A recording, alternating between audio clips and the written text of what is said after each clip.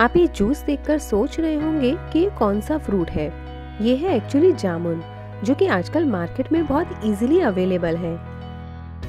मैंने सोचा, क्यों ना इसकी रेसिपी आप लोगों के साथ शेयर की जाए। चलो बनाते हैं जामुन का जूस।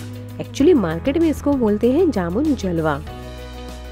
इसके लिए यहाँ पर लिया है मैंने 150 ग्राम जामुन और एक मौसम्बी।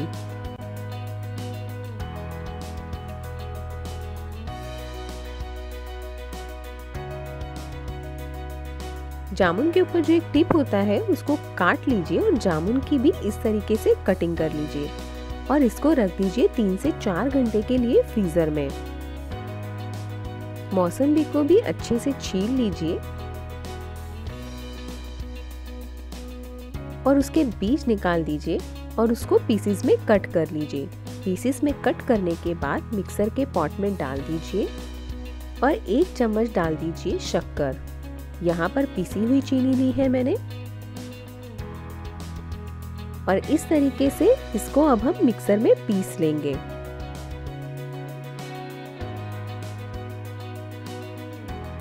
मौसम्बी के जूस को छान लीजिए। अब चाहो तो थोड़ा सा पानी भी ऐड कर सकते हो। इस तरीके से जूस रेडी हो जाएगा। जो जामुन हमने फ्रीजर में रखे थे, वो इस तरीके से आइस्ड में चेंज हो जाएँगे। उनको भी हम मिक्सर के पॉट में डाल देंगे। और उसमें ऐड कर दीजिए दो चम्मच शुगर यहाँ पर भी मैंने पिसी हुई ही चीनी ली है। और थोड़ा सा पानी ऐड कर दीजिए। इसको मिक्सी में पीस लीजिए। फिर से थोड़ा सा पानी ऐड कीजिए।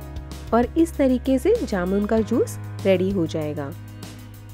जामुन के जूस को और मौसम्बी के जूस को मिक्स कर दीजिए। अच्छे से मिक्स कर लीजिए। यहाँ पर मैंने लिया है एक ग्लास और उसमें डाल दिए हैं थोड़े से आइस क्यूब्स जो जूस हमने रेडी किया था, उसको ग्लास में पोर कर दीजिए।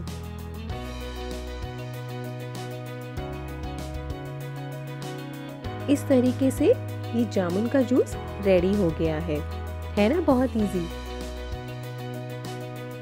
आप लोग सोच रहे होंगे कि जामुन को हमने फ्रीजर में स्टोर क्यों किया था? फ्रीजर में स्टोर करने से जामुन के जूस की थिकनेस बहुत अच्छी आती है। तो आपको ये रेसिपी कैसी लगी? प्लीज़ कमेंट बॉक्स में ज़रूर शेयर करें। चैनल को लाइक करें सब्सक्राइब करें। चैनल देखने के लिए थैंक यू सो मच